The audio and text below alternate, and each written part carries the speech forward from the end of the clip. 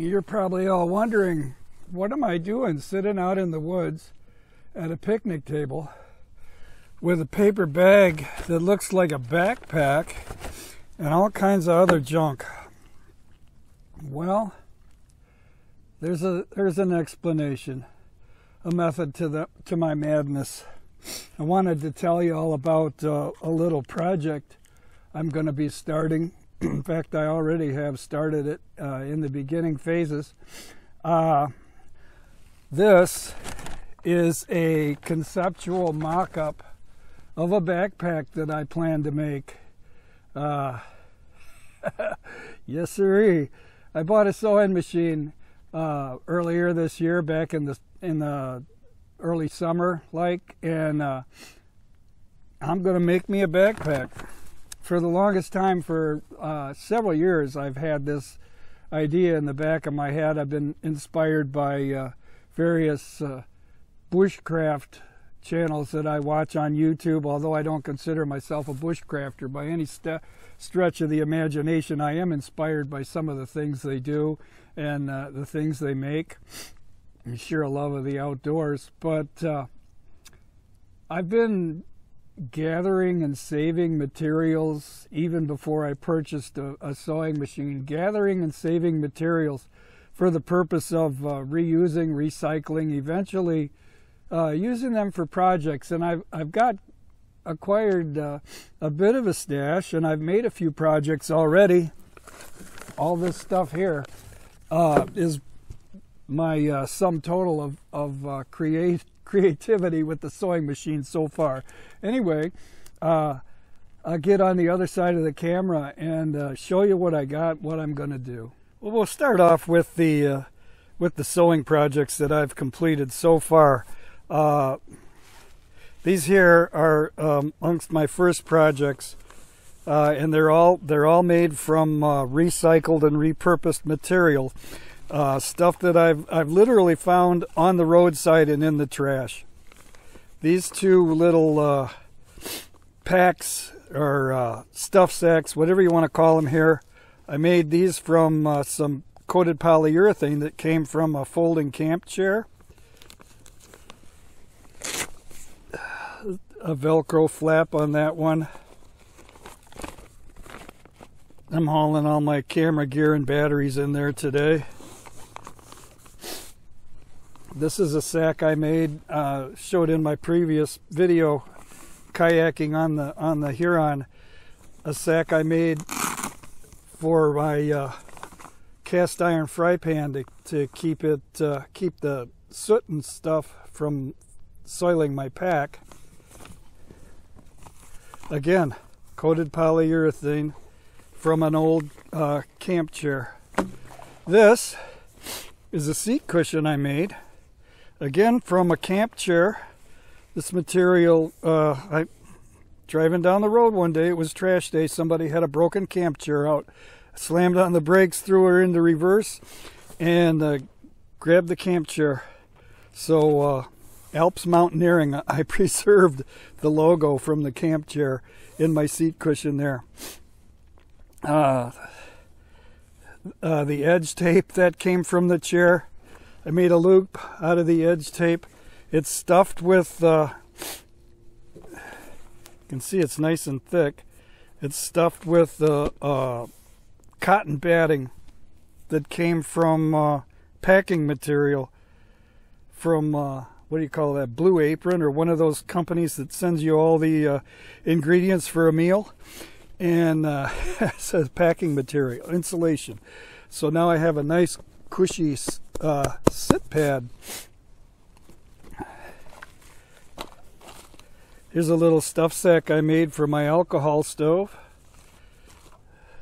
Made from a uh, a child's uh, back sack that I found discarded along the trail in Kensington Park. It had a it had a tear in it, and somebody just left it there, discarded it. I grabbed it up. I said, "Hey, man, I can use that for something."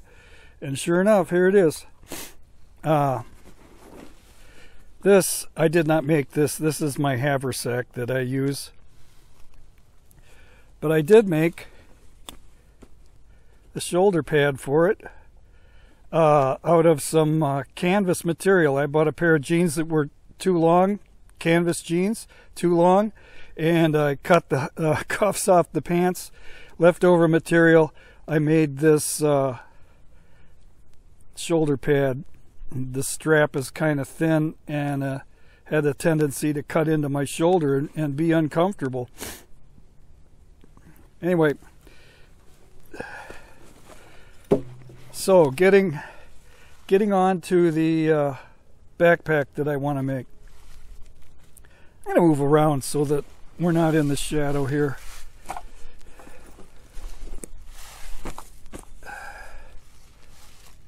This is a,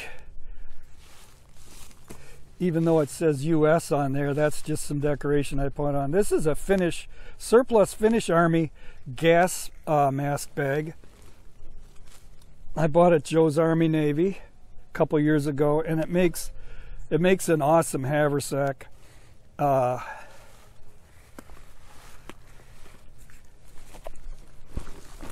it's got uh, pockets inside, covered with a flap. I can keep all kinds of little uh, possibles in there, like. And uh, I sewed in.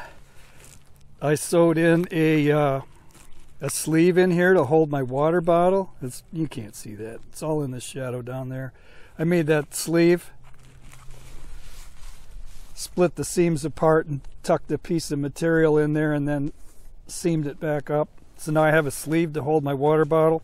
But anyway, you can see, although this pack is handy, it's uh, it gets pretty full when I go out in the wintertime, especially when I want to take like hot chocolate and my lunch along with me, my alcohol stove, extra hat, gloves, socks, that kind of stuff. Man, I need a backpack, a rucksack.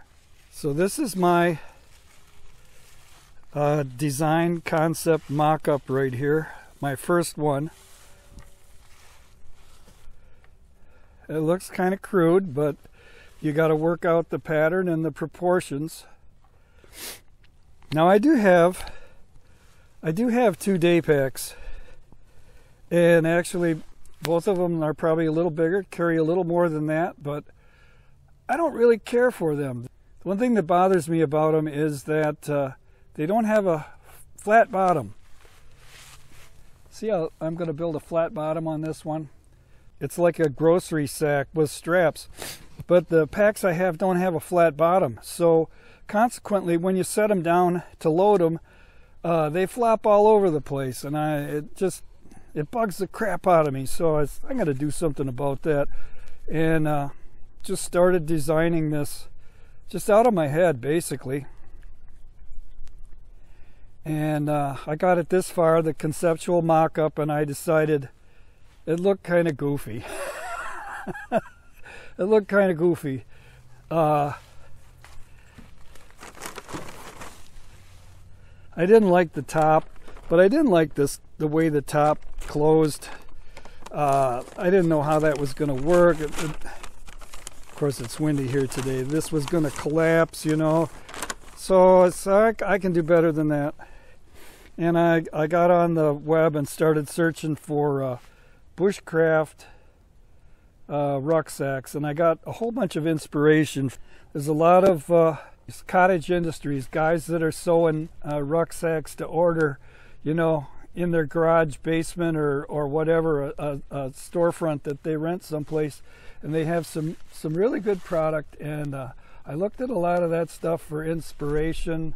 Uh, there's a lot of uh, like bushcraft videos that uh, you know people show their pack and their loadout and everything. So lots of inspiration there. Uh, the biggest inspiration I got was I found a pack I really liked sold by LL Bean.